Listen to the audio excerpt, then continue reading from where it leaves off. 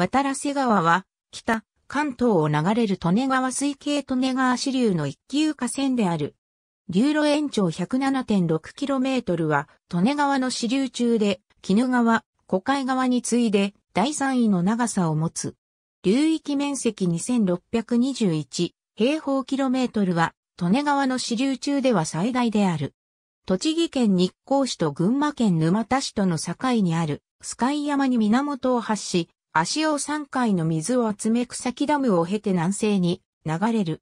群馬県緑市で平野に出て、南東へ向きを変え、桐生市から足利市、大田市、佐野市、館林市など、大宗群馬、栃木の県境付近を東南東へ流れる。栃木県栃木市藤岡地域で、明治、大正期に開削された鉱石台地を東へ抜けた後、南に向きを変え、渡良瀬遊水地に入り渦間川、重い川を合わせる。茨城県と埼玉県の県境を南へ流れ、茨城県古河市と埼玉県加須市の境界で利根川に合流する。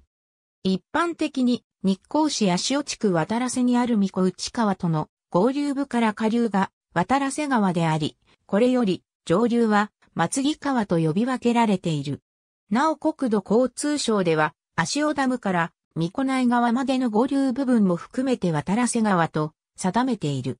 また、足尾ダムよりも上流部の松木川も渡良瀬川と呼ぶことがある。上流にある足尾町の渡良瀬という地名に由来する。伝承によれば、この地名は日光を解散した正道商人による命名である。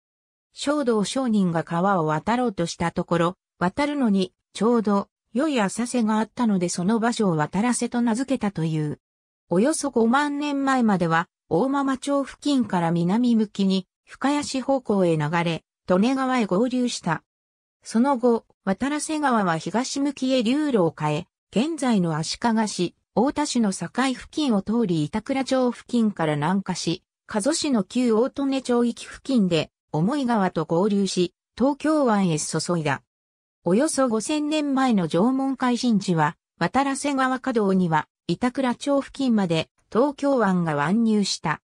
古代から中世まで足利市、大田市の境を通り板倉町まで屈曲を繰り返し、流れる現在の山川が渡良瀬川の本流で、上野国、下野国の国境となっていた。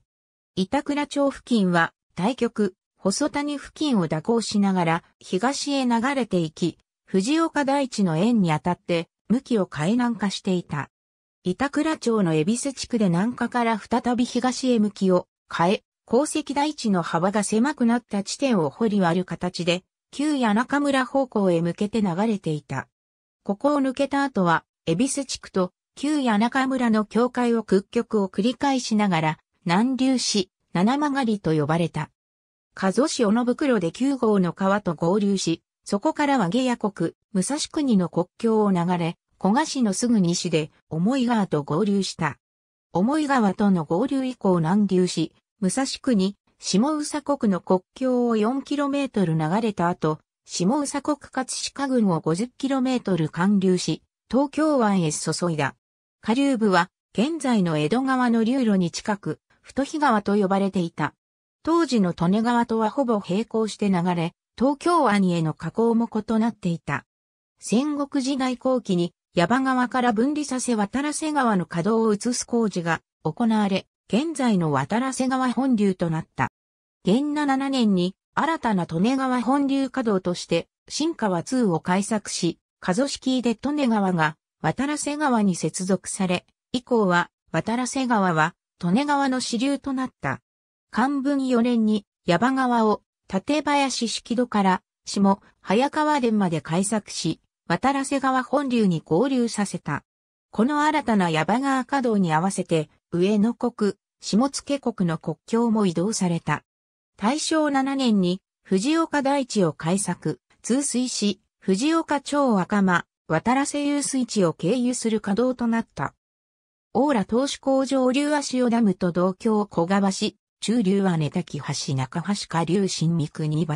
国土交通省関東地方整備局、渡良瀬川河川事務所、渡良瀬川を城2016年3月3日、閲覧渡良瀬川から小賀ナビ当時の利根川は、その付近から南向きの流れとなり、現在の荒川の流路を通り、東京湾へ注いだ。